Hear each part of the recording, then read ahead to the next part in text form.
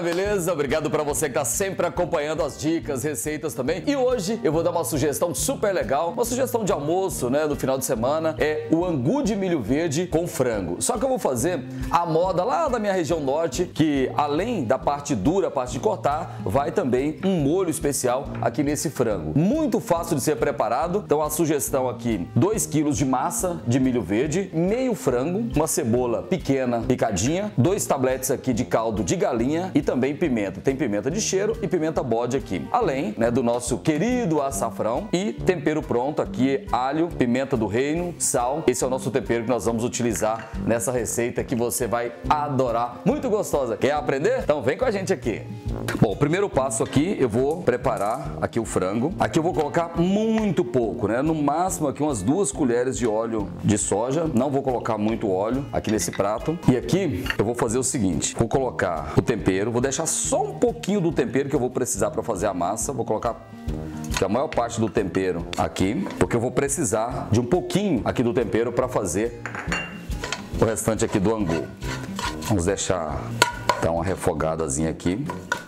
Esse é o tempero normal que você faz em casa, né? Alho, pimenta, é, sal. Esperar começar a dar só uma, uma fritada aqui. É um prato muito gostoso, um prato é, típico goiano, né? O pessoal no interior gosta, em Goiânia também, você né, que gosta de um angu de milho verde, com certeza vai gostar dessa receita aqui.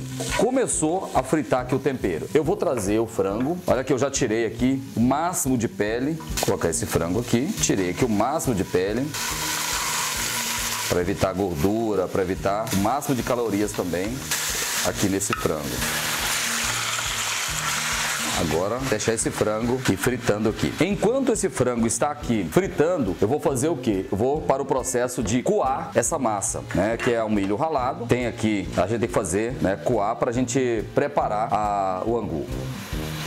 E aqui o que, que eu vou fazer? Eu vou utilizar uma peneira dessa aqui e vou coar essa massa. Porque a massa que a gente compra, ela é ralada, no milho é ralado naquele ralador elétrico, aí passa muito bagaço, muito sabugo. Então nós vamos fazer aqui.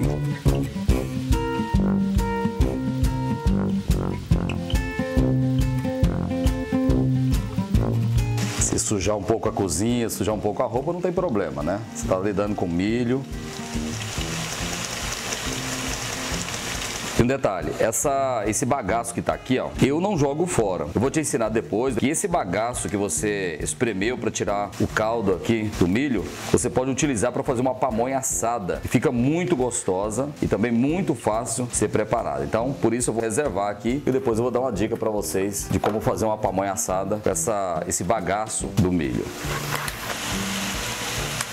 Bom, e aqui nosso frango já está passando, né? Deixar ele ficar um pouco mais dourado, para dar sequência aqui ao nosso angu. Se você quiser utilizar também um frango desfiado, né? Eu também gosto, às vezes eu até prefiro é, o frango desfiado. Ele é mais fácil de ser manuseado. Mas eu optei aqui porque se você quiser também utilizar um frango caipira, fica muito bom o angu de milho verde com frango caipira. Fica ainda melhor. Mas aqui eu estou usando o frango comum que a gente tem à disposição no supermercado. Agora um detalhe, esse caldo do milho que eu tirei aqui, esse aqui eu vou reservar, que nós vamos precisar para fazer um outro processo ali. Essa massa que ficou aqui, ó, você pode utilizar para fazer uma pamonha assada, alguma coisa assim. Só que eu vou utilizar, reservar aqui, que eu vou precisar dessa massa, vou colocar mais ou menos um copo, máximo dois copos de água nessa massa, porque eu vou precisar desse caldo mais ralo para um outro processo. Então, eu vou colocar dois copos com água misturada a essa massa que eu vou meio que espremer ela de novo para a gente fazer. Não vamos misturar é uma outra história que eu vou mostrar agora para você.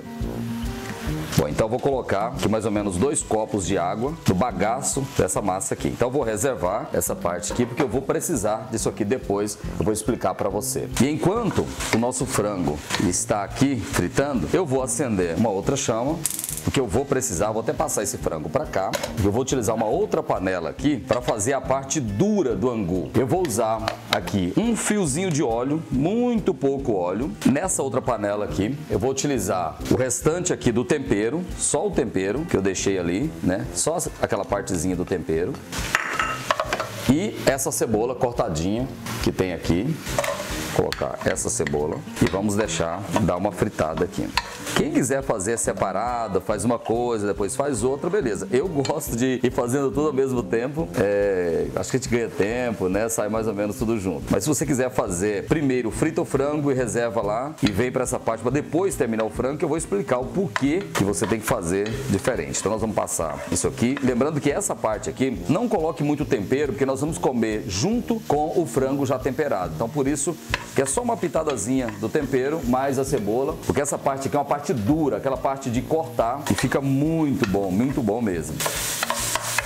E essa parte aqui exige mais cuidado porque a massa pode ficar crua, ela pode endurecer, mas ficar crua. E eu vou te explicar por quê espera a cebola dar uma murchada. Você vem com aquela massa, aquela primeira massa, você vai mexer, porque o polvilho aqui do milho, ele desce né, para o fundo da vasilha. Aí você vai vir com essa massa aqui.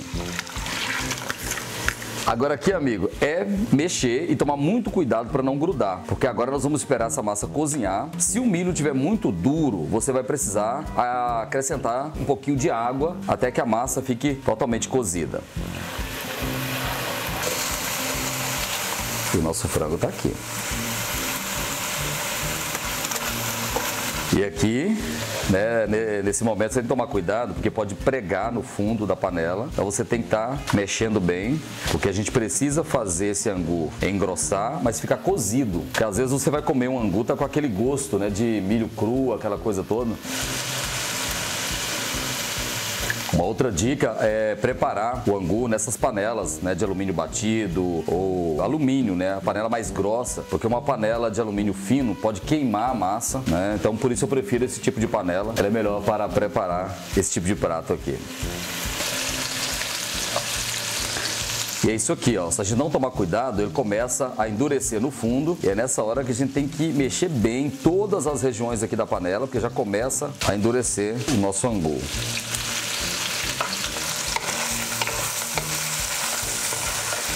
Quem não é muito rápido na cozinha, faça separado. Frite o frango, reserve e venha para cá, né? É, eu gosto de fazer tudo ao mesmo tempo, mas eu até aconselho você a fazer separado, porque corre o risco de uma ou outra panela queimar, né? Olha aqui, ó, já começa a endurecer aqui o angu. É um prato que eu adoro, lembra a infância, lembra a fazenda, lembra o interior. É um prato que eu gosto muito. Né? E ele vai formando, né, uma camada tipo gelatina e vai endurecendo aqui. Já começa a ganhar forma realmente de um angu.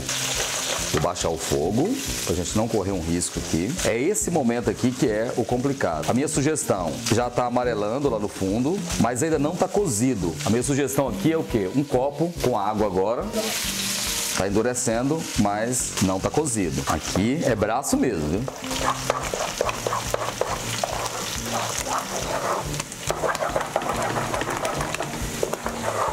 Aqui você tem duas técnicas para saber se está cozido ou não. Uma delas é o cheiro, me parece que o cheiro não está com cheiro ainda de cozido. A outra é você experimentar. Não, não está cozido ainda. Então, vou colocar aqui mais um pouco de água. Porque é muito interessante você deixar a massa bem cozida, que esse prato é aquele prato que os nutricionistas, quem faz dieta, já sabe, né? Muita caloria, muita caloria mesmo. Mas é um prato que você vai comer no almoço de domingo, uma vez por semana ali, não é aquele prato de todo dia. Agora sim, já tá com cheirinho de cozido. Bom, aqui o nosso angu, a parte dura está pronta. Bom, aqui está pronto, agora é desligar e trazer aqui para o nosso refratário. É a parte boa da coisa. Olha aí que delícia. E tem que ser rápido porque senão ele endurece na panela. Olha aí, fica bem amarelo mesmo. Isso indica que está cozido. Bom, a nossa parte é, dura do angu já está pronta. A gente vai continuar aqui com o nosso frango. Eu vou acrescentar aqui o açafrão. Não precisa de muito açafrão, porque o milho já é amarelo, aquela coisa toda, já tem um sabor aqui forte. E vamos esperar o frango chegar um pouquinho mais. Bom, nosso frango aqui está quase é, bom. E agora aqui entra uma parte que cada cozinheiro, cada pessoa que gosta de cozinha tem uma técnica. Eu senti uma vontade aqui de colocar uma cebola cortadinha cortar aqui mesmo na panela. Acho que vai dar um toque especial. Se você não gosta de cebola, não coloca. Mas eu vou colocar, porque eu acho que vai ficar bacana aqui nesse molho do frango. Se fosse frango caipira, estaria ainda melhor isso aqui. Mas E não acabou. Eu vou acrescentar aqui dois tomates maduros. Quem trabalha com cozinha, quem gosta de cozinha, já ouviu falar da expressão de comida triste. Comida triste é quando você olha para a comida tá muito branco, muito amarelo. Por isso esse efeito aqui do tomate vai ser mais para dar um toquezinho, para deixar o prato mais alegre. Aqui tomate maduro com pele, com semente, até porque isso aqui vai dissolver quando a gente colocar o molho. Sempre mexendo para não queimar aqui o nosso frango. Vou colocar o segundo tomate. E cozinha é alquimia, né? Cada um desenvolve uma técnica, cada um adapta um prato, cada um faz do seu jeito. Você pode dar a mesma receita para 10 pessoas, nenhuma vai fazer o prato ficar com o mesmo sabor. Deixa esse tomate dissolver um pouquinho. Nessa parte aqui eu vou fazer o seguinte, eu vou colocar um tablete de caldo de galinha, não vou colocar os dois porque eu vou avaliar o tempero. Vou colocar um e depois avaliar o tempero. Vou colocar uma pimenta de cheiro aqui também. Lembrando que pimenta também depende, tem gente que não gosta. Eu adoro pimenta, eu gosto muito de pimenta. Acho que o prato sem cebola, alho, pimenta, é um açafrão para mim, não rola, né? Tem que ter esses temperos. Vou usar uma pimenta bode só. Agora, a pimenta bode, aqui eu já vou tomar um certo cuidado, porque ela pode provocar queimaduras na pele, no dedo aqui, ó. Agora, esperar o tomate dissolver um pouquinho. Caso você tenha, por exemplo, um tomate cereja que está muito maduro na sua geladeira, você não tem, não sabe o que fazer, pode colocar esse tomate cereja aqui também nesse prato. Aí o que acontece? Eu vou colocar um copo com água aqui nesse molho só mesmo para não pregar. E aí vem a parte que você deve estar se perguntando. E aquilo que você colocou água no que sobrou daquela massa. É agora que vem esse detalhe aqui, ó. Aquela massa que eu coloquei dois copos com água, naquela massa que eu já tinha lavado, agora vem isso aqui, ó. Você vai passar essa massa novamente. A minha mãe, por exemplo, ela não, ela não faz essa parte aqui. Ela coloca a caldo do milho sem essa segunda lavagem. Só que fica bem grosso. Eu gosto do caldo mais fininho. Então, aí é, é opcional. Você pode usar a massa do milho do jeitinho que você coa nesse momento aqui, ou você pode né, deixar um pouquinho mais rala. Aí daqui a pouco você vai ver a combinação.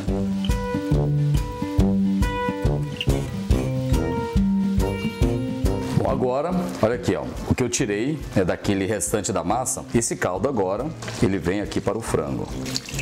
Repito, algumas pessoas fazem com o suco do milho mais consistente, mais grosso. Eu prefiro que ele fique um pouco molinho. Agora aqui é deixar ferver um pouquinho, fazer aqui o teste do sal, fazer o teste do sal para mim tá bom. Então não vou colocar o segundo tablete de caldo de carne. Agora, para deixar o prato um pouquinho mais alegre, eu vou colocar um cheiro verde aqui sobre esse prato. Olha isso aqui, ó, está ficando um caldo bem consistente, um caldo bem legal. E eu vou colocar aqui cebolinha, esse aqui é opcional também, né, se você gosta ou não, um coentrozinho, Olha aí, muda a cara do prato. Isso aqui, com frango caipira, você não tem noção o que vira, viu? Esse prato eu aprendi com a minha mãe, que é especialista nesse prato aqui, ó. Está pronto agora o nosso angu, um prato super tradicional aqui de Goiás, um prato gostoso. É calórico, mas é muito gostoso, viu? Agora eu vou mostrar para vocês como é que serve o nosso angu de milho verde. Bom, e esse prato se serve da seguinte forma: você vai pegar a parte dura do angu, que está aqui, e você vai comer